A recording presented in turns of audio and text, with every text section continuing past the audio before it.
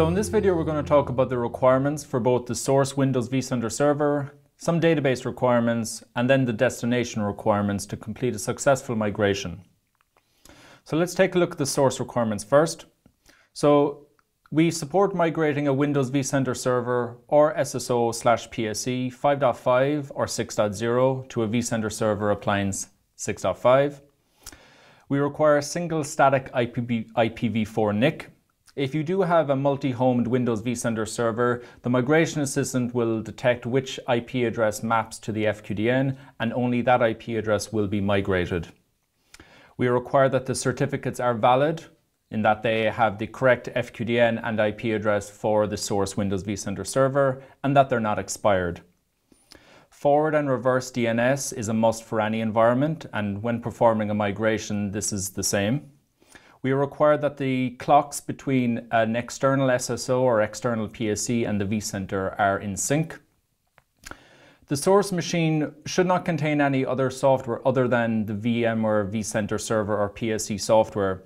If, for example, it also contains SRM, Horizon View, or any other software that you may want to continue using, you should move that software off the Windows vCenter server first because the vCenter server will be shut down as part of the migration process, so any other applications that you, you need to use will also be shut down.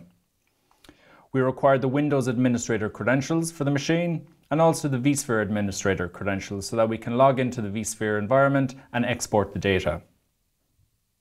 Now for the database requirements, we support migrating any of the supported databases. So as long as you're running a supported vSphere 5.5 or 6.0 environment, we support that migration. But it's also good to perform some vCenter database maintenance prior to doing a migration. So two common tasks that we would recommend performing would be to rebuild the indexes, and you can do that by following KB article 2009918 and purging some old data to reduce the overall size of the data and speed up the migration process. And you can do that by following KB 1025914. Now moving on to the destination requirements. So we need a, a deployment target, and this is typically an ESXi host. If you're running the vCenter in another management cluster, uh, you could use the vCenter of that cluster as a deployment target, but typically we would just point directly to the ESXi host. Forward and reverse DNS is also applicable for the destination. The deployment topology is going to be retained when you're doing the migration. So for example, if you're running a vCenter with an external PSC on Windows, your appliance topology is going to be the exact same. It's going to be a vCenter server appliance with an external PSC appliance. The topology can't be changed during the migration.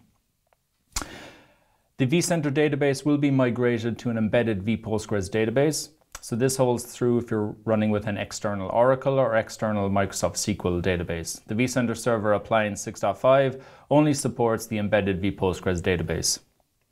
Time synchronicity is also important as well for the destination. And we also require AD dom domain credentials. So this is to allow the target vCenter Server appliance, the new vCenter Server appliance, to join the Active Directory domain. So in the next section, we're going to talk about the migration workflow. I hope you enjoyed this video on the requirements.